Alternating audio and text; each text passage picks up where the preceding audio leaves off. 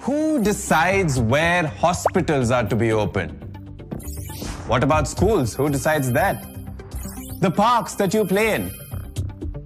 Have you ever wondered who is in charge of making sure that the streetlights are working or the garbage is collected regularly and disposed of safely? In villages back in the day, the elders would form a small committee and take all the decisions regarding village welfare. This is how the concept of panchayat came in. They have a body consisting of the elected representatives of the village.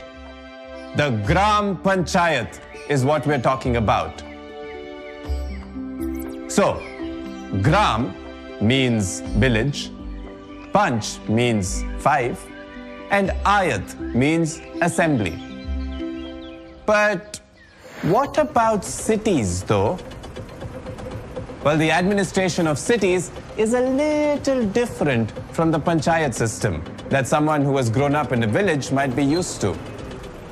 Big cities have municipal corporations, and smaller towns have municipal councils or municipalities. These organizations take care of the planning and the administration of the area. These are the governing bodies. The term panchayat has its origin in India, as we saw earlier. But the term municipal comes from Latin. Municipium means free city. When these big cities have a population of over 10 lakhs, they're called metropolitan cities or metropolis. Metropolis is a Greek word coming from metera, meaning mother, and polis, meaning city or town. So metropolis is like a mother city, a prime city. A metropolis is a large city which is an important center for the country in terms of the number of people who live there and their livelihoods. These cities also have an impact on the way the people in a country live their lives.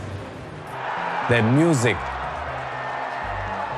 their art, and even their movies.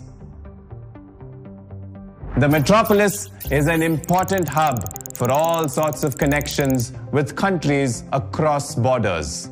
Let's take the example of New Delhi. The population of New Delhi in 2011 was 1.68 crores.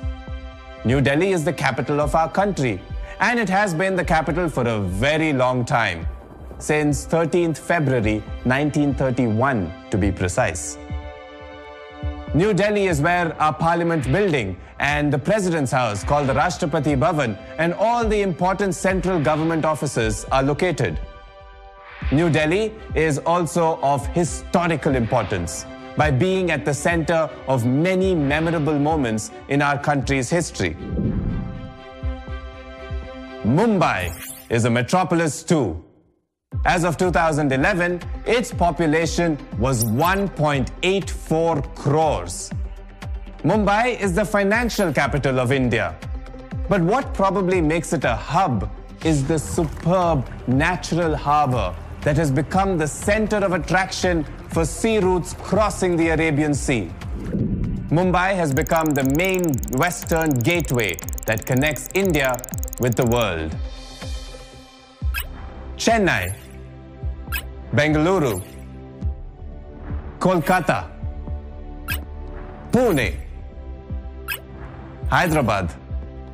These are some of the important metropolitan cities of India. Hmm, now that we've seen what the different metro cities in our country look like, big cities have municipal corporations and smaller towns have municipal councils. When these big cities have a population of over 10 lakhs, they're called metropolitan cities or metropolis. New Delhi, Mumbai, Chennai, Kolkata, Bengaluru, Hyderabad, and Pune are some of the important metro cities in India. If you like this video and want to watch many many more amazing videos like these, like and subscribe to our channel now.